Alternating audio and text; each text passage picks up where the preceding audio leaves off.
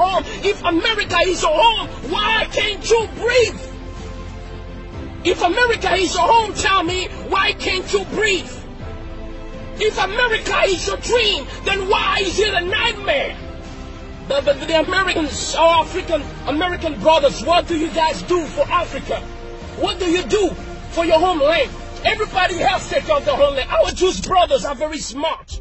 You know, you need to understand that before slavery of the black man started to take place, uh, before black men were sent to America, the Jews nation, Israel, was already was already the Jews were already deported out of the land. Way before. Alright? But even centuries after centuries, the Jew people remain loyal to the land. They're still connected. They help each other. They still have the community mindset. Alright? Not whether they found themselves in France, it's the same thing. They have a community mindset. They make sure that they are well established in media. They are well established in, in politics, in, in, in business, in different sphere of life. And they don't just become rich for themselves. They become rich for the community. But black people become rich for themselves in order to flex on Instagram and show some rags and some money and all that and act like you've made it. Brother, you haven't made it. If your community is still struggling, you haven't made it. You're a fool. That's the truth, guys. You're a fool. You're a fool. Alright? Things need to change. Our Jewish brothers are building Israel. Even though they've never been there, even though they left Israel from centuries, centuries, centuries away, but they still know where to come from. But African American brothers were taken from Africa only a few centuries ago, but they have forgotten about the homeland. They think that America is the home. If America is your home, why can't you breathe? If America is your home, tell me, why can't you breathe? If America is your dream, then why is it a nightmare? That's the question we need to ask ourselves. Spending millions of dollars buying mansions. You know, a few years ago, 50 Cent bought a mansion that used to be owned by Mike Tyson. He bought it for 4 million something US dollars. And then many years later, few years later, he, he, he decided to sell it. Okay? The mansion was listed at 18 million US dollars. They couldn't find a client, so finally the house was sold for 2 million something. So which means this was a bad investment. But now let me tell you something. Do you know how uh, what 50 Cent could have done with 4 million US dollars in Africa? With 4 million US dollar, he could have built a city or a suburb in Africa. And I'm not talking about a poor suburb, I'm talking about a modern suburb. They could build you can, you can build your own Hollywood in Africa. You can build your own California in Africa. You can build your own Washington in Africa because the truth is Washington, California was built with the hands of black slaves. So you can use the same hands to come and build Africa. But you don't want to do it. China is doing it. Our Jewish brothers are doing it. But you guys don't want to do it because you think you're smart. You think America is your home, but then why can't you breathe, brothers? Why can't you breathe? Why do you have to look every time you're driving and the cop stops you? You're panicking. You don't know what you're going to do. You don't know if you're going to survive. You don't even know if you have to move your finger or not. Is that what you call home, guys? You need to wake up. LeBron James, wake up. Michael Jordan, Will Smith, wake up. Oprah Winfrey, wake up. It is time for you to think about a homeland. Here, I'm in my car right now. I'm not, I'm not worried about the cops coming to stop me. I am free. I'm shouting. Hey, I'm shouting. Ain't no cops gonna come and stop me. Even if I'm shouting, making noise, ain't no, ain't no cops gonna come and kill me right here.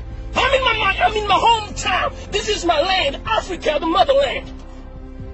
We need to stop complaining every time, saying that we don't make it because you know what, this, this, and that. But yes, if you don't want, if, if you want things to change in America, then you need to organize yourself. In the same way that our Jewish brothers organize themselves in America, the Italians organize themselves. You gotta organize yourself. There's no organization. How many banks do you have? And if you have one, it, uh, does LeBron James bank in that black bank? There's Oprah bank in that black bank?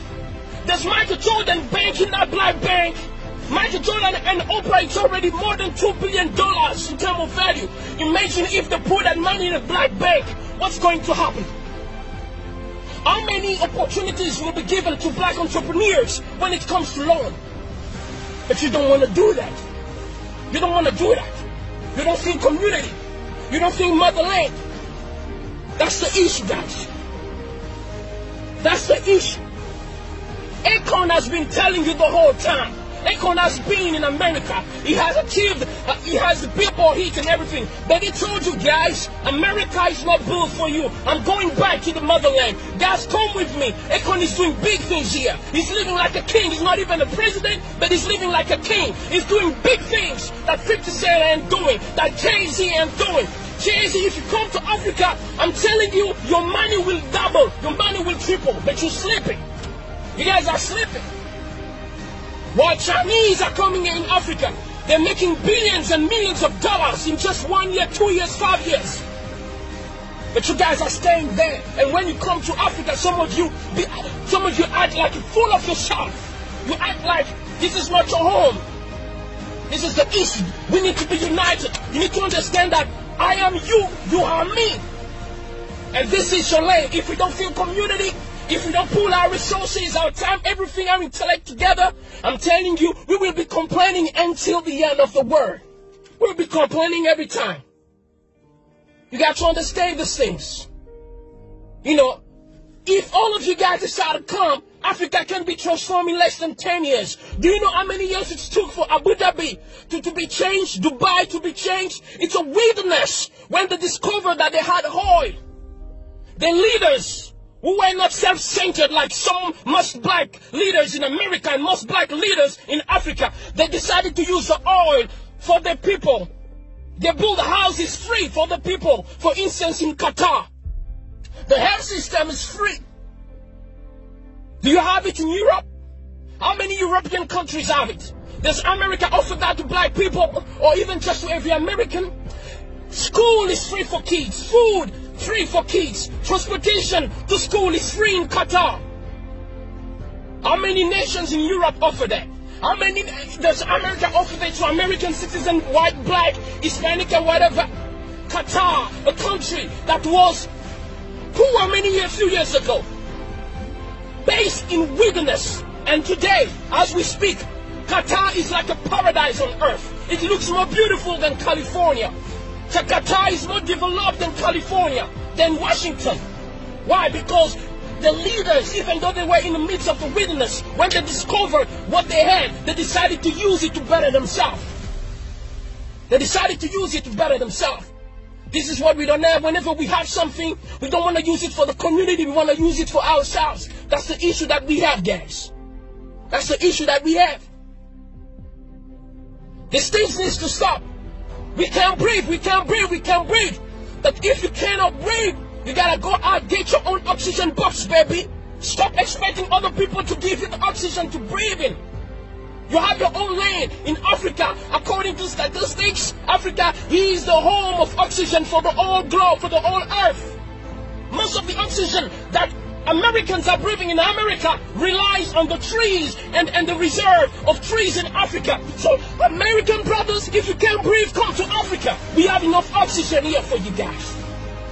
We have land for you. All right? We have we have we have your passports waiting for you. All right? We have everything you need waiting for you for you to settle. There are some American brothers who are already coming back to Ghana, to Nigeria, and other countries coming back. We need to change the way we do things. African leaders need to change the way we do things. We need to organize ourselves. Can you imagine Qatar when it comes to countries with the biggest oil reserve on earth? Number one is Venezuela in terms of oil reserve on earth. All right? So Venezuela is like the Jeff Bezos of oil on earth. Number 10 is Nigeria the first African country in the list in terms of oil reserve. And Qatar is number 14. But guess what? Even though Qatar is number 14, but when it comes to health system, Qatar is better than Venezuela and Nigeria combined. When it comes to urban, when it comes to the structure, urbanization, cities, building, sophistication, modernization, Qatar is better, far better than Nigeria and Venezuela put together. Yet, Nigeria and Venezuela have more oil than Qatar. So it's not about what you have, it's about the heart. What are you willing to do with it? Do you care for your people? Do you care for your land? Do you have respect for yourself? When you are a person of dignity, you will think about building, taking care of your own. Because a man who has dignity will not be proud to see his wife naked or, or, or his kids starving. Because when they look bad, you look bad. So in Africa, when we have uh, uh leaders we don't mind having countries that are broken despite resources. It is because they have no self-dignity. It is because they have no self-esteem. And that's the worst kind of man that you can have on earth. Even a lion has a sense of pride. That's why a colony of lions is called pride. Most of our African leaders have no pride. And you call yourself a man. Shame on you guys. Shame on all the African American leaders because you cannot even build an Africa city in America. Like China has Chinatown. You can't organize yourself with all the wealth that you are you are building. You can't. Shame on you, African leaders, because you are not doing what it, what you're supposed to do. This is the issue that we have. Qatar has less oil than Nigeria and Venezuela put together. Yet when it comes to to prosperity and everything else, I'm talking about everything. Talk talk about everything. Qatar is better, and they've achieved that just in a few years, just in a few years, today Qatar looks like a paradise on earth. These things needs to change, guys. So you can breathe, we can breathe. This is how we can breathe. If you want to breathe, let's build our own banks. If we want to build to breathe, let's build our own cities. If you want to breathe, come back to Africa. Just like the Jews go back to Israel even though they are American. Just like Chinese still go back to China even though they are Americans. Come and build Africa. You can build city here. Akon is currently building Akon City. Shout out to Akon. You a man. You got the brain. You got the brain, Akon. You got the brain. You're the man. You also you don't see Akon spending his time showing showing gold and highs anytime. That's for kids. That's for kids, guys. We need to grow up. We need to grow up and start doing big things. Start doing big things. Akon is talking about lighting up Africa. While you're talking about being lit, being lit in the club, no, come and be lit in Africa. Come and, and light up Africa like Akon is doing. Come and build cities. You are more than welcome, my African brothers.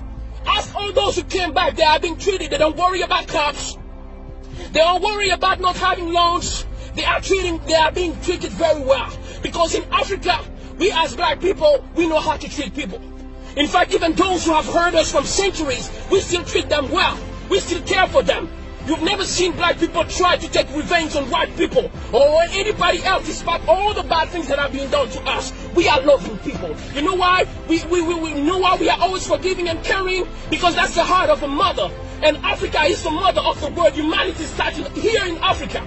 The reason why, that's the reason why black people are always forgiving.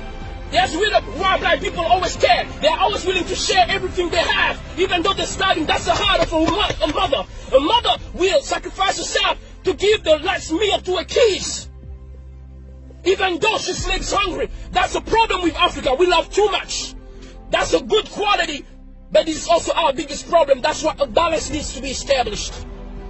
It is time to build Africa.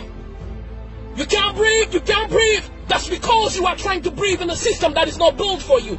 It is time for you to build your own system. Build your own banks. Come back to Africa. Build cities with the money that you have. You're going to live like kings over here. May God bless you. This is Ambassador Joe Wemba. Your brother. I love you, Jay-Z. I love you, uh, Mike Jordan, Oprah. I love all of you guys. But it is time to stop playing around. Because it looks like it's obvious that many people don't like us. Even though we love them. So let's take care of ourselves because we all we got. Shout out to all the white people who are not racist, all the Chinese who are not racist, all the Arabs who are not racist, who believe that we are all human and should be treated equally. Much love and respect to you guys. This is Ambassador Jill Remba. I'm signing out.